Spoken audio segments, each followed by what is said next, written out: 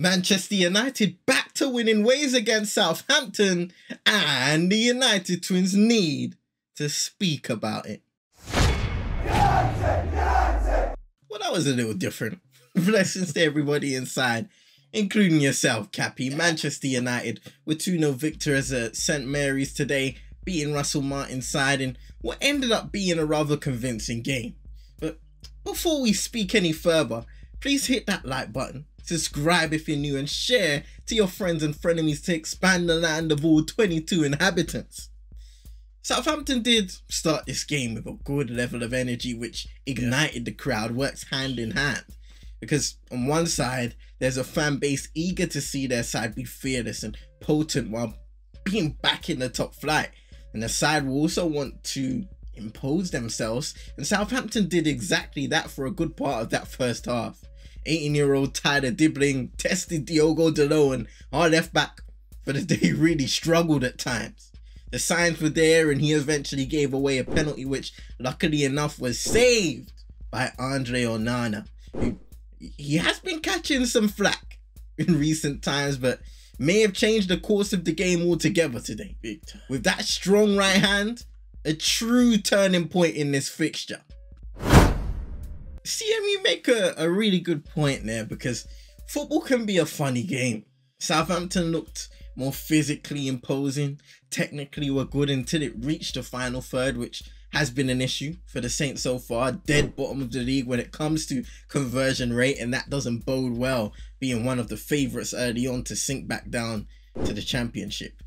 We also are one of the worst teams in, in the division at converting chances, which is nothing new, and we had our moments as the game began to present spaces to run into. Zirkzee desperately stretched for one in the first half, just couldn't get enough on the ball. He actually had a few in this game, but seemed slightly hesitant to pull the trigger in earlier moments, which allowed defenders to have an extra tenth of a second or more to recover. Matthijs de Ligt getting his first Manchester United goal, man of the match performance also, which was a, a cherry on top still uh-huh. in the infant stages of his career at United, of course, but there have been promising signs. I think Lisandro Martinez looked a lot more in rhythm today, which is the exact game he needed to have. Marcus Rashford getting his first goal since Liverpool in the FA Cup quarter final last season. Just let that sink in. It, was heavily documented about Marcus's work during the international break, and, and hopefully that controlled finish from outside of the area will provide a level of confidence that I believe Erik Ten Hag and this team needs him to have.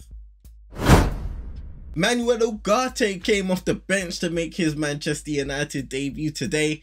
A cameo of directing traffic off ball, closing up gaps of space that could ignite goal scoring opportunities, and so forth.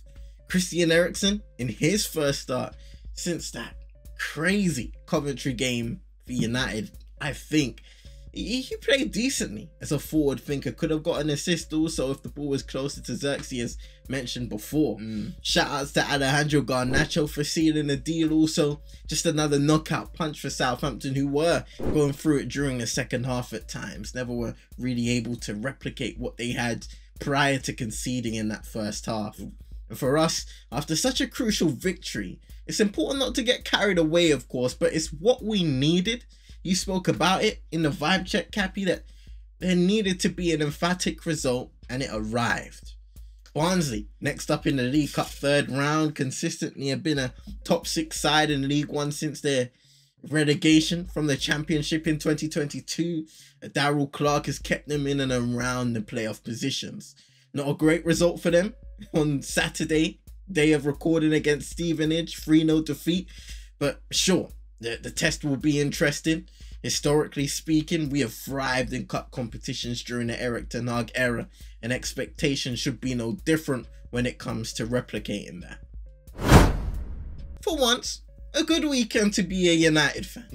And when you're the first, very first game of the weekend, that is a beautiful thing. Indeed. Business is about to pick up, of course. Check out our previous video speaking about United's upcoming schedule and fixture congestion as an overall topic. We'd also like to welcome and, and thank existing viewers of this channel and also those who may be coming across CM22 ENT for the first time. Road to 1K seems like a realistic goal at some point in 2025. Perhaps we should set some goals here. We might have to. But for now, hit that like button. Subscribe if you're new. Keep sharing to your friends and frenemies.